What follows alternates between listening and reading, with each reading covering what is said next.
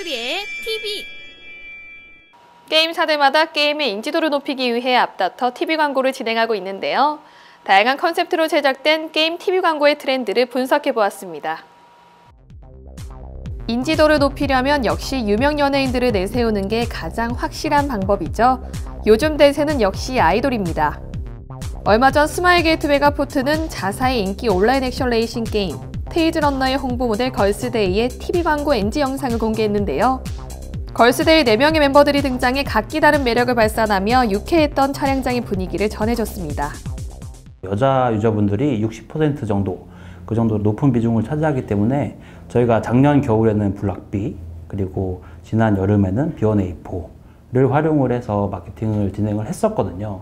그런데 저희도 남성 유저들이 있잖아요. 40%에 해당하는 남성 유저분들이 있기 때문에 남성 유저분들이 상당히 큰 염원을 이제 가지고 계셨어요. 이제 걸그룹도 쓰면 좋겠다. 예, 그래서 그런 저희가 유저분들의 염원을 이제 담아서 이제 걸스데이를 이제 기용을 하게 됐고 마치 실제 게임 영상을 보는 듯한 애니메이션을 활용한 경우도 많은데요.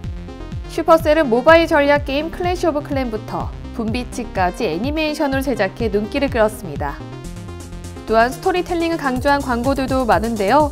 넥슨의 모바일 RPG 히트는 지난해 게임 출시와 함께 TV 광고를 선보였습니다. 유명 연예인을 기용하지 않고 게임 스토리를 영화처럼 각색했는데요. 덕분에 게임에 집중할 수 있다는 장점과 함께 대중들의 호기심을 자극하는 데 충분한 역할을 했다는 분석입니다. 끝으로 아예 특정 시장을 겨냥한 광고도 선보였습니다.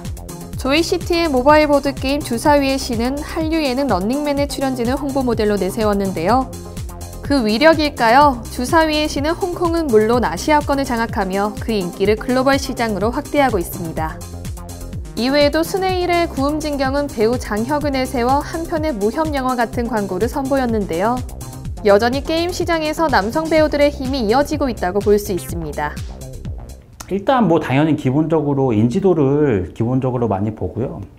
그리고 저희가 뭐 마케팅을 함에 있어서 다양한 콜라보레이션을 저희가 지금 진행을 해 예전 작년부터 해오고 있는데 그 자체가 가지는 IP가 어, 얼마, 얼마나 어떠한 가치를 가지느냐를 제일 중요하게 봅니다. 왜냐하면은 저희가 콜라보레이션을 하는 이유 그리고 그 모델을 활용해서 마케팅을 하는 이유가 그 IP가 가지는 가치와 힘을 저희가 함께 하고 싶은 거기 때문에 그러한 가치가 어떠하냐를 저희가 제일 중요하게 보고 있습니다.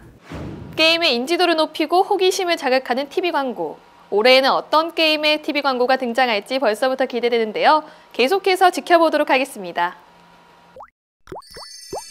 헝그리의 TV